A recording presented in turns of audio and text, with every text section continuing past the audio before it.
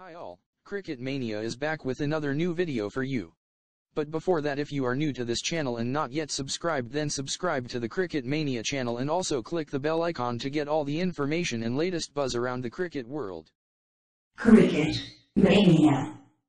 Former India captain and batting legend Sunil Gavaskar has lavished praise on Royal Challengers Bangalore fast bowler Harshal Patel for claiming a hat-trick on Sunday against Mumbai Indians in Dubai. The right-arm quick dismissed the likes of Hardik Pandya, Kieron Pollard and Rahul Chahar to bundle out the defending champions for a paltry 111 in the chase of 166. RCB won the match by 54 runs, retaining their third spot on points table with an improved net run rate.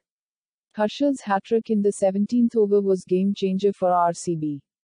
Rohit Sharma and company were already struggling in the chase and the presence of Pollard at the crease was the only hope left.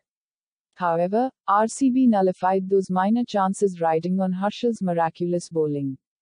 Speaking with Star Sports Network in the post-match show, Gavaskar stated that getting a hat-trick is always special for any bowler.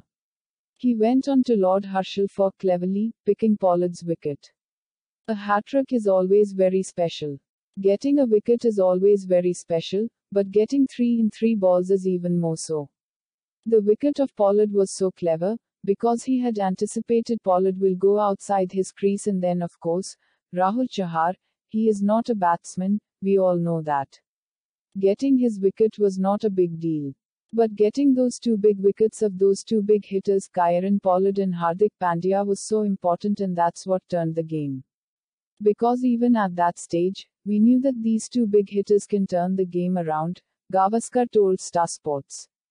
Earlier, Glenn Maxwell and Virat Kohli scored 56 and 51 respectively, as RCB posted 165 for 6 in the allotted 20 overs. Srikar Bharat also played a knock of 32 runs from 24 balls. Patel's hat-trick and three-wicket haul by Yuzvendra Chahal helped RCB defend the total. After losing three games on the trot, MI have slipped to seventh position on the points table.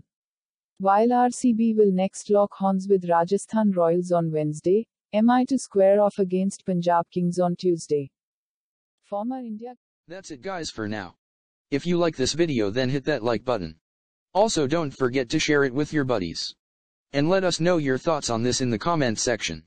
Tada!